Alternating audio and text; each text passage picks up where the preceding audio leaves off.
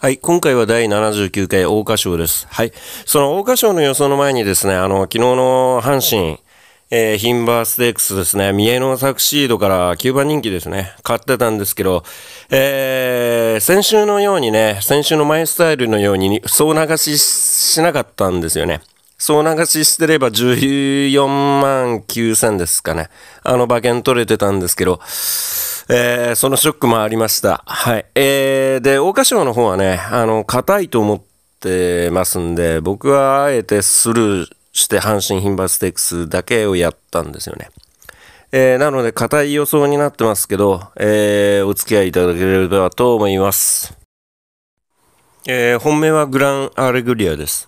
はい、休み明けとはなりますけど、で、昔ね、スティンガーっていうね、藤沢厩舎の馬でね、いて、えー、ぶっつけでね、えー、G1、えー、使って惨敗した馬、いますけど、あのー、この馬はね、あの、ぶつけといっても、ボバとやってますんでね、ボバとやっての3着で、それでのぶっつけなんで、えー、ここは全然能力、休み明けでもうん、全開でいけるんじゃないかなと思ってます。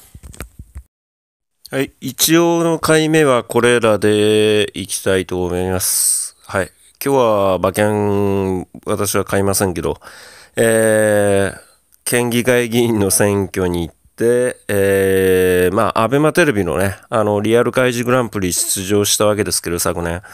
あの、その時に知り合った人のね、あの、お店、レストランですかね、あの、ハンバーグ、えー、を食べに行く約束してるんで、あの、そちらのお店行って、ランチ食べて、えー、今日は過ごしたいなと思います。はい。で、またね、新日本プロレスもね、あの、えー、今日の、えー、朝の7時半からですかね、あの、マジソンスクエアガーデンっていうとこでやるんで、えー、それも見なきゃいけないなと、ちょっと、競馬とは離れたね、えー、過ごし方したいなと思っております。はい。で、メルカリの方なんですが、えー、ノコギリ足っていうのが売れましたね。はい。えー、っと、これね、えー、かぼちゃエキスってやつと同時に2個セットで出してたんですけど、えー、これ、今のはあの別の人の画像ですけど、ノコギリ足の方は。あのー、まあ、専用作ってくれっていうことで、えー、専用で、えー、ノコギリ足のみ欲しいって言われてね。はい。えー、で、かぼちゃエキスは売れてないんですけど、えーですね、私の方はちょっと遅れてしまったんですけど、乗り遅れちゃったんですけど、改元ビジネスですよね。流行ってますよね。えー、こうした平成のクリアファイルとかですね。あとは令和になったんで、令和のクリアファイルとか、えー、あとは令和の平成じゃなくなって令和のね、20線引っ張ってのシャチハタの犯行とか、えー、取り寄せたりとかしてます、私の場合は。はい。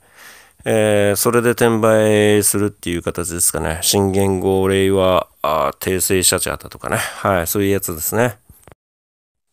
まあメルカリなんかではね、あの、号外、新聞の号外がありえない価格で販売されてますけど、まあ実際に買う人もいますからね、あの価格でもね、はい。あとですね、あの、某、某会社のね、あのー、サプリメントとか使うと、こういった広告来ます。あのー、読者モデル。はい。えー、効果あったよって言って。で、全身の写真と一緒に共に送るとね、えー、採用されれば1万円もらえます。えー、私もやってます、これ。はい。こうしたね、あの、軍資金の稼ぎ方もあるかなとは思います。はい。えー、参考にまでに。はい。はい。で、エポカ道路の件とか、あのー、自分のね、あのー、出資してる馬とかの件については、あ今日は、えー、やめまして、えー、また、次週にでもお話できたらなと思います。はい。今日はどうもご視聴ありがとうございました。